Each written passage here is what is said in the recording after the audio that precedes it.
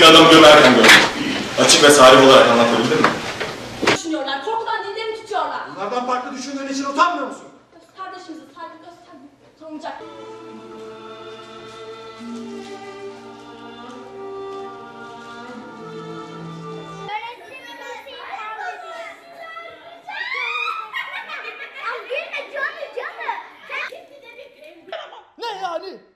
ukala yobazın biri gelecek bizim evde. Onun her dediğine eyvallah edeceğiz. Her dediğini yapacağız öyle mi?